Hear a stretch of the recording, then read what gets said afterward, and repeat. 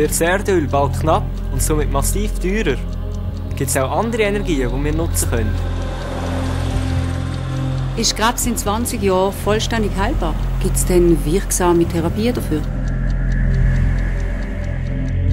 Wird es echt eines Tages möglich sein, sämtliche geschriebene Texte dieser Welt auf so einem kleinen Chip zu speichern?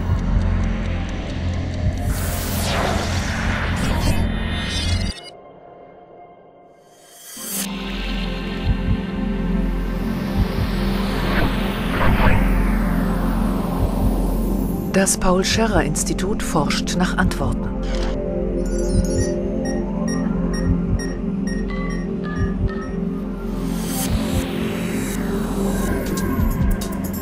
Das PSI ist ein multidisziplinäres Forschungszentrum für Naturwissenschaften und Technologie.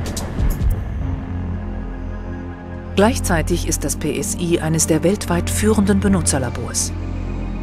Gastforschende aus 60 Nationen nutzen hier übers Jahr die komplexen Einrichtungen für ihre Experimente.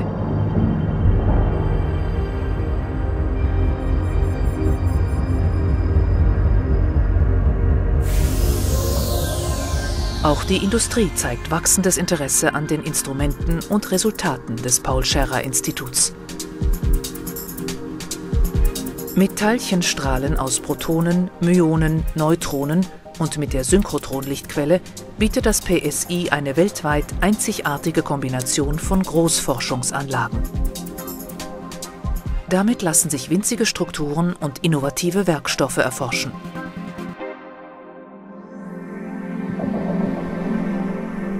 In der Mikroelektronik und vielen anderen Techniken werden damit große Fortschritte möglich. Mit neuen magnetischen Materialien können wir extrem leistungsfähige Datenspeicher bauen. Oder wir blicken mit mikroskopischen Verfahren tief ins Hirn hinein und wir können so die Ursache von Alzheimer besser verstehen. Teilchenphysiker und Radiochemikerinnen erkunden das Innere der Materie. Mit ihren Versuchen stoßen sie an die Grenzen des Wissens. Weltweit einmalig ist die am PSI entwickelte Protonentherapie zur Behandlung von tiefliegenden Tumoren.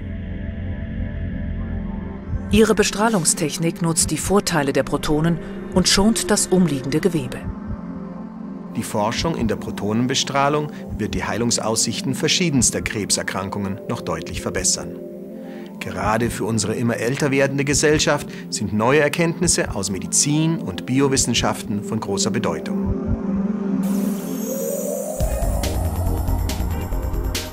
Das PSI ist das größte Energieforschungsinstitut der Schweiz. Für den Klimaschutz leistet es wichtige Beiträge, wie beispielsweise die Erzeugung von Wasserstoff aus Sonnenenergie und die Herstellung von CO2-neutralem Gas aus Holz.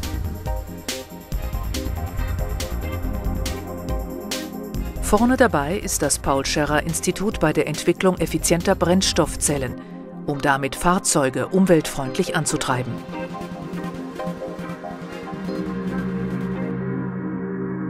Auch die Sicherheitstechnologie von Kernkraftwerken wird weiter verbessert. Sowohl die erneuerbaren Energien als auch Kernenergie sind klimafreundlich. Die effiziente Nutzung von Biomasse und Solarenergie sowie neue Kernreaktortypen bieten eine echte Alternative zu den fossilen Brennstoffen. Bis zu deren breiten Anwendung sind allerdings noch etliche Anstrengungen erforderlich.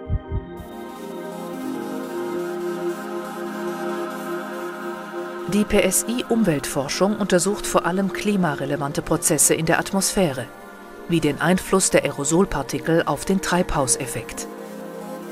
Und anhand von Eiskernen aus Gletschern können die Fachleute auf das Klima und die Umweltverschmutzung der vergangenen Jahrhunderte schließen. Die Untersuchung der Aerosolteilchen auf dem Jungfraujoch und die Analyse der Eisbohrkerne liefern wichtige Hinweise auf Klimaveränderungen. Die Resultate dieser Umweltforschung können zum Beispiel als Grundlage dafür dienen, fundierte politische Entscheidungen zu treffen.